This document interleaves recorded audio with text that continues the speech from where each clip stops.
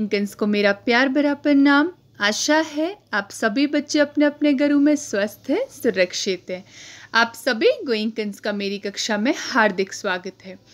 प्यारे बच्चों, आज के विषय में आप पढ़ेंगे विशेष दिनों के नाम जो कि खास दिन होते हैं। शुरू करते हैं। सभी बच्चे दिए गए कार्य को समझकर अपनी अपनी पुस्तक पर करेंगे।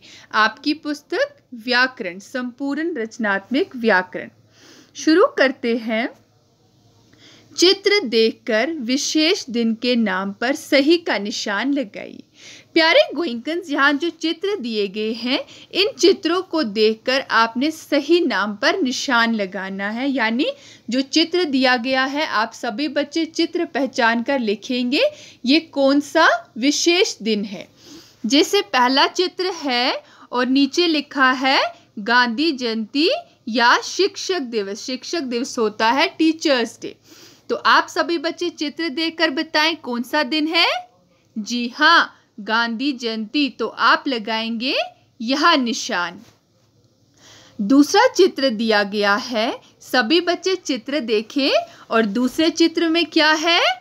जी हाँ स्वतंत्रता दिवस, यानी इंडिपेंडेंस डे आज़ादी का दिन।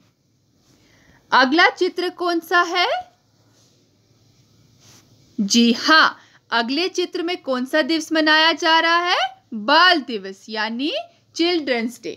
आशा है आप सभी बच्चे अपनी अपनी पुस्तक पर देख रहे हैं और इस कार्य को पूरा कर रहे हैं। आखिरी चित्र कौन सा दिया गया है? जी हाँ शिक्षक दिवस, यानी टीचर्स डे। तो आप सभी बच्चे ऐसे ही चित्रों को देखकर दिनों के नाम के आगे निशान लगाएँगे, जैसे कि मैंने आपको दिखाया। पहला चित्र है गांधी जयंती, दूसरे चित्र में है स्वतंत्रता दिवस, तीसरे चित्र में बाल दिवस और चौथे चित्र में शिक्षक दिवस।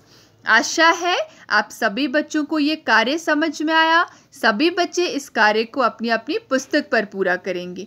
आज की कक्षा में आपके लिए इतना ही। आपसे फिर मिलेंगे अगली कक्षा में।